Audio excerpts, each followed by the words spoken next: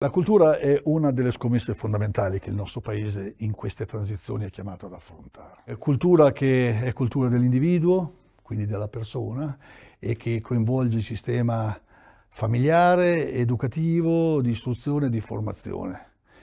Però cultura è anche un qualcosa che si può declinare in campo finanziario e in campo economico, in campo previdenziale, in campo sociale. Credo che di cultura ci voglia, ci voglia proprio. Noi pur in tutte le diversità come professionisti, abbiamo una caratteristica comune. Siamo professioni regolamentate da ordini professionali.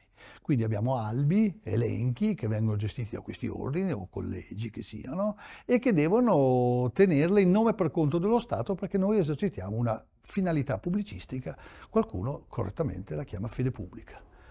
Le nostre competenze, le nostre conoscenze, le nostre prassi, le nostre attitudini si confrontano in maniera eh, responsabile, ma che deve essere, per essere responsabile, deve essere anche autonoma e indipendente di fronte all'esigenza degli utenti, dei, dei nostri iscritti e eh, in questo oh, la funzione pubblica e la finalità pubblicistica è eh, importante. Sono professioni intellettuali, non dimentichiamocelo. Eh, credo che ci sia un dibattito in corso per migliorare la componente formativa. Qualcuno addirittura ha rispolverato la funzione e l'ipotesi di abolizione del ruolo legale della laurea come momento ineludibile di un passaggio migliorativo della qualità delle nostre università, io non ne sono particolarmente convinto, dico la verità. Mi sembra da medico voler buttare via il termometro quando troviamo che abbiamo la febbre, insomma.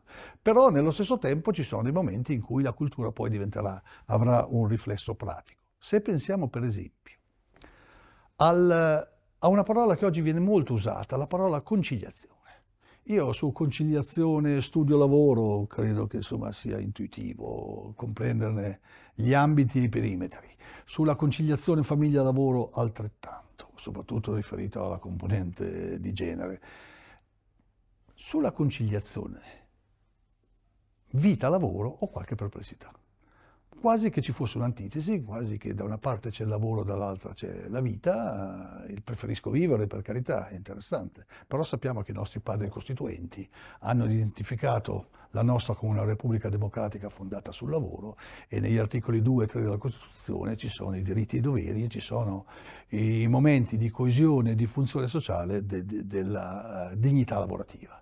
Eh, non si parla di libertà, si parla di lavoro come elemento fondamentale e quindi lanciare questo concetto quasi antitetico tra lavoro e vita, secondo me, è, dal punto di vista culturale potrebbe impattare negativamente sulla costruzione di una visione eh, sociale di coesione e di inclusione che, eh, della quale in questo momento abbiamo bisogno.